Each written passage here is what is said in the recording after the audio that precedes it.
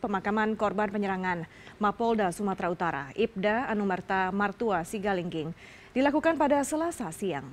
Ibda Anumerta Martua dimakamkan di areal pemakaman keluarga di kampung halamannya, Desa Sukaramai, Kabupaten Batubara, Sumatera Utara.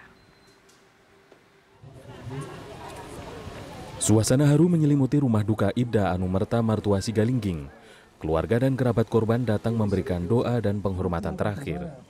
Sebelum diberangkatkan ke tempat pemakaman, Satuan Jajaran Kepolisian Polres Batubara beserta Satuan TNI juga turut hadir dalam upacara keberangkatan ke pemakaman.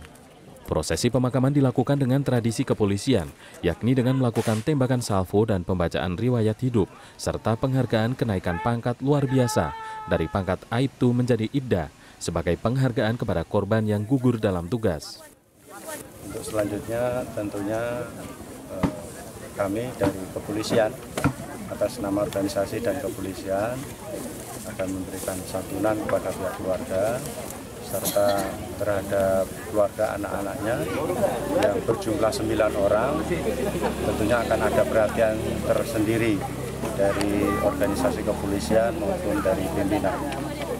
Ibda Anumerta Martua Sigalingging meninggalkan seorang istri dan sembilan anak. Ia pernah bertugas di beberapa wilayah di Kalimantan dan Sumatera Utara. Ya harapan kita ya dihukumlah setimpal.